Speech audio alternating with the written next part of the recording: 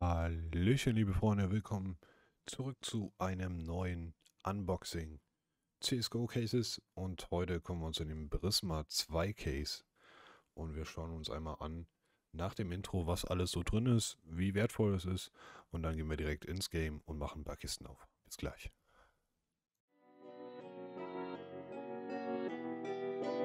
Perfect.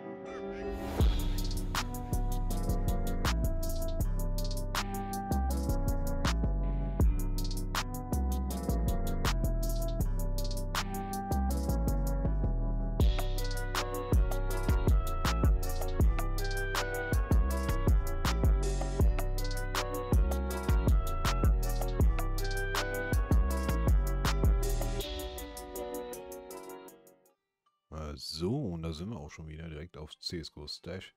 Und wir schauen uns natürlich an, was so Schönes in der Kiste alles drin ist. Ähm, ich würde sagen, wir fangen wieder von unten an. Von den Blueskins her, ein Revolver ist dabei. Ähm, optisch ganz in Ordnung. Zwar nicht mein Fall, aber ist jetzt auch nicht verkehrt. Ja, von den Preisen her können wir jetzt nicht viel erwarten. Dann gehen wir einmal weiter Richtung ähm, was haben wir hier? Eine CZ. Auch die ist so ein bisschen kupferartig gehalten. Ist jetzt auch nicht verkehrt. Allerdings auch nicht mein Fall. Negev, naja, meine Meinung zum Neg äh, zu Negev habe ich immer wieder. Ist so ein Skin, äh, den braucht man nicht unbedingt. Negev wird viel zu selten gespielt. Dann haben wir hier eine MP5. Die finde ich optisch eigentlich ganz geil. Ist noch relativ schlicht gehalten. Ein schöner Stil. Ähm, gefällt mir ganz gut. Mm, Dann kommen wir zur AUG. Tomcat wird sie auch gerne genannt. Äh, hier liegen wir auch preislich relativ niedrig. Äh, die Prisma Case ist auch schon ein bisschen älter.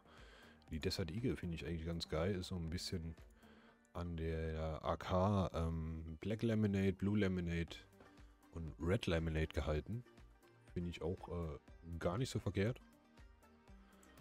Ähm, auch hier liegen wir preislich auch bei Star Trek schon relativ hoch für den Blueskin. Und für das Alter von der Case.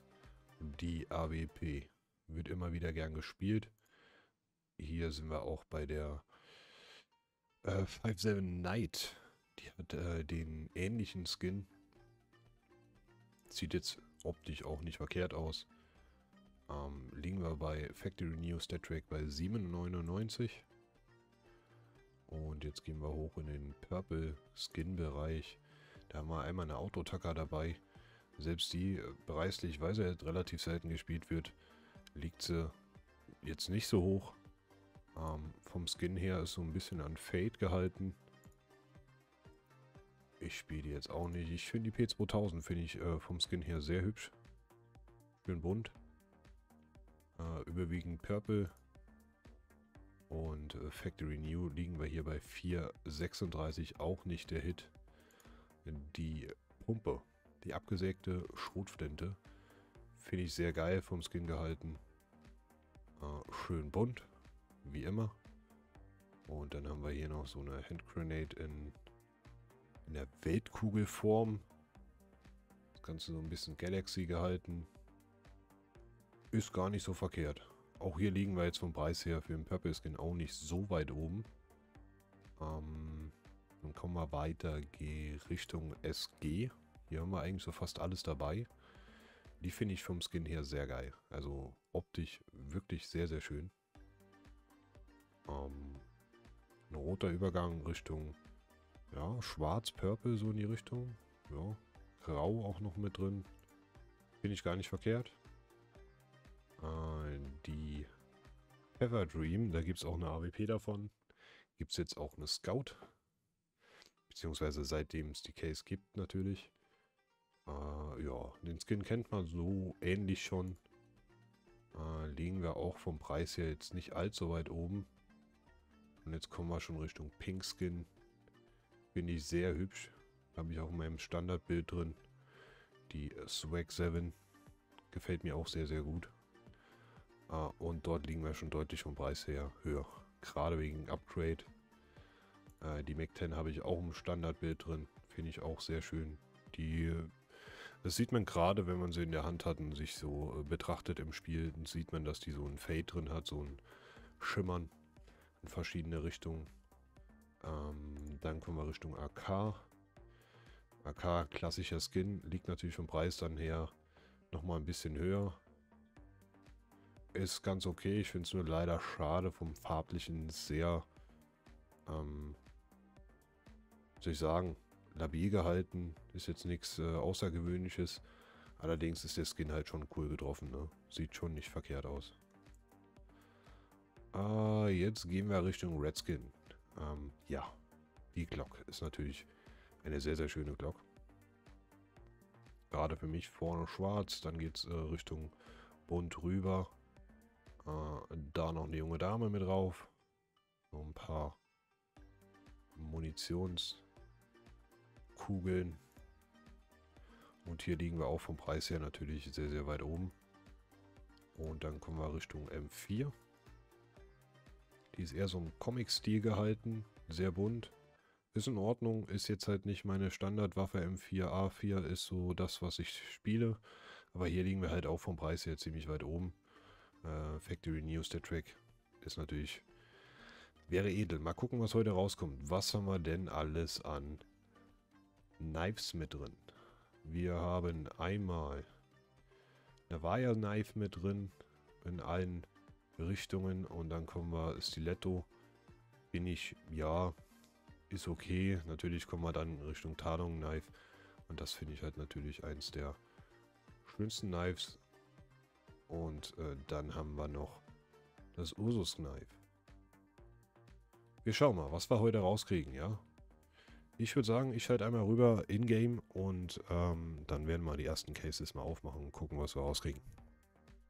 So, und da sind wir auch schon wieder in-game. Und ich würde sagen, wir fangen direkt an. Wir lassen da nicht viel Zeit.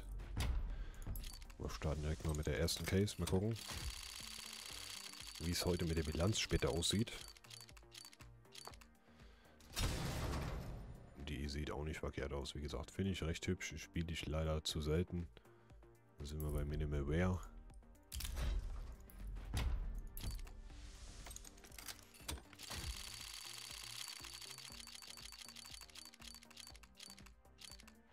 Ne, Negev. Naja. Geht schon gut los mit einer Negev. In der zweiten Case. Abwarten.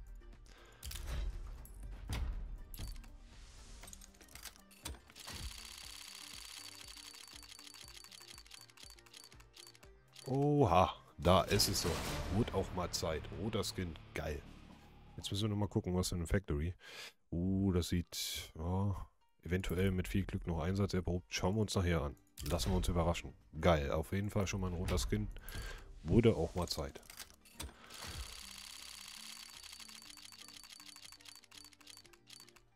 Purple, nicht verkehrt. Factory, nicht verkehrt. Schauen wir auch später nach.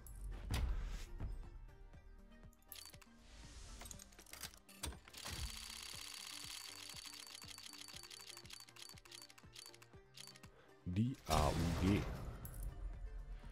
Hier haben wir Einsatz erprobt. Okay. Das Spannende ist nachher Factory von Redskin. Aber wir lassen uns abwarten. Wir lassen uns überraschen, was dann nachher rauskommt. Immer noch mal die MP5 äh, sehr abgeranzt. Ja, da gehen wir schon Richtung abgenutzt. Mit Kampfspuren, so in die Richtung.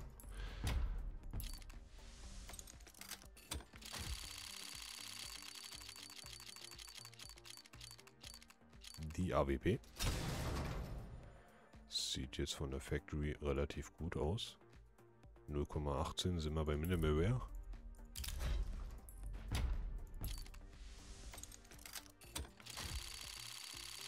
Oh, da ist der Redskin vorbeigetackert. Negev. Willkommen, Negev. Auch hier sind wir schon bei FN.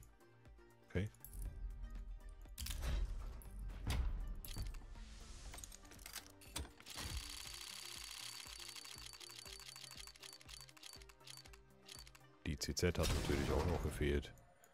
Uh, ist allgemein vom Look her sowieso schon so ein bisschen abgeranzt. Da ist, glaube ich, scheißegal, was für eine Factory nachher rauskommt.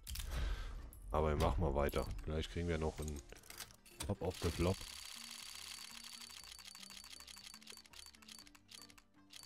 Ein Purple Skin und Statric. Auch nicht verkehrt. Was haben wir hier? 0,16 müsste Einsatz erprobt sein. Hier gucken wir nachher nach.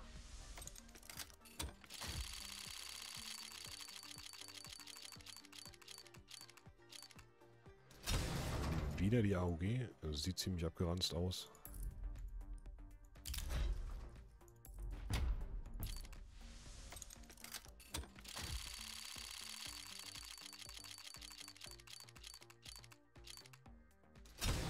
Der kleine Bruder von der AOG. Auch hier. Oh, müsste sogar FN sein. Sieht man kaum einen Unterschied.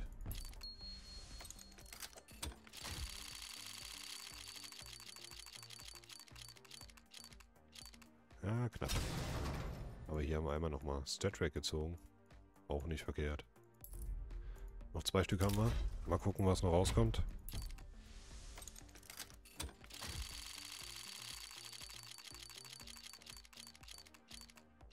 Nochmal eine MP5. Die mag mich heute. Letzte Case.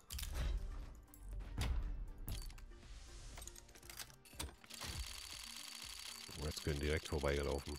Ist immer böse. Und da haben wir noch einmal die Diegel drin. Wie gesagt, finde ich vom Skin her eigentlich sehr hübsch. Sieht echt holzmäßig aus. Mal gucken, was wir daraus haben. Also, wir fangen äh, von hinten an. Wir haben einmal die Desert Eagle Blauschicht, äh, die wäre einsatzerprobt. Dann geht es weiter mit der MP5, einmal einsatzerprobt. Einmal StatTrack abgenutzt. Dann haben wir die AOG Minimalware, einsatzerprobt. Die SG haben wir dann einmal StatTrack einsatzerprobt. CZ einsatzerprobt. Ah, ja, eine Fabrik neue Negev, auch nicht verkehrt. Einsatzerprobter AWP. Nochmal eine MP5 abgenutzt. Eine AOG nochmal einsatzerprobt. Jetzt kommen wir hier zum Minimalware. Ist nicht verkehrt für den Purple Skin. Können wir uns gerne nochmal angucken. Ist echt nicht verkehrt. Gefällt mir optisch auch sehr gut. Ich habe, glaube ich, noch gar keine im Standardbild. Könnte sein, dass es eine wird. Wobei ich die echt äh, viel zu selten spiele. Dann kommen wir jetzt einmal zu unserem Redskin. Wir schauen uns nochmal an. Ja, sieht ziemlich abgenutzt aus. Wir gucken mal. Abgenutzt. Schauen wir nachher mal in der Statistik, die ich euch einblende, was äh, diese Waffe so schönes wert ist. Jetzt haben wir hier nochmal die Negev. Die wäre dann auch Minimalware. Und wir haben am Schluss noch einmal die MP5. Auch hier haben wir Minimalware. So, das war's vom Unboxing Prisma 2 Case.